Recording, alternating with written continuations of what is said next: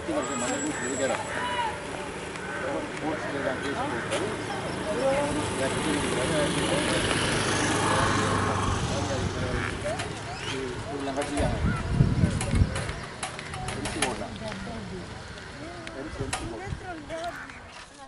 இரண்டாயிரத்து நான்காம் ஆண்டு ஏற்பட்ட சுனாமி அனர்த்தத்தால் பாதிக்கப்பட்ட மக்களே இந்த சுவிஸ் கிராமத்தில் அதிகமாக வாழ்ந்து வருகின்றனர்.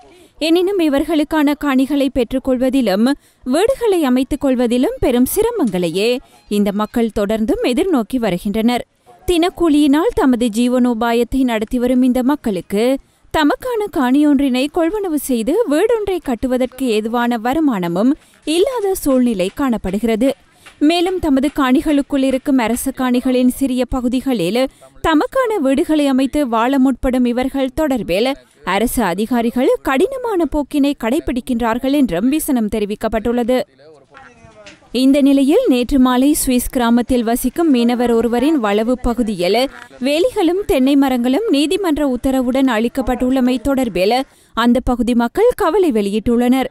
சுவிஸ் கிராமத்தில் சுனாமியின் போது மூன்று பெண் பிள்ளைகளுடன் இடம்பெயர்ந்த கலாமோகன் எனும் மீனவரது வீட்டின் வளவு பகுதியில் உள்ள வேலிகளும் தென்னை மரங்களுமே இவ்வாறு அளிக்கப்பட்டுள்ளதாக விசனம் வெளியிடப்பட்டுள்ளது. தமக்கான வளவு ஒன்றினை வழங்கி உதவுமாறு பல்வேறு தடவைகள் கோரிக்கை விடுத்த போதிலும் அதனை கருத்திற் கொள்ளாமல் இவ்வாறு நடவடிக்கைகள் முன்னெடுக்கப்பட்டுள்ளன என்றும் மட்டக்களப்பில் உள்ள பணம் படைத்தவர்கள் மற்றும் அரசியல்வாதிகளினால் பெருமளவான காணிகள் அபகரிக்கப்பட்டுள்ள நிலையில் அது தொடர்பில் எந்த நடவடிக்கையும் எடுக்கப்படவில்லை என்றும் பிரதேசவாசிகள் குற்றம் சுமத்தியுள்ளனர். அத்தோடு இது தொடர்பில் அதிகாரிகள் உரிய நடவடிக்கையினை மேற்கொண்டு காணி உரிமைகளை வழங்க முன்வர வேண்டும் எனவும் அவர்கள் கோரிக்கை விடுத்துள்ளனர்.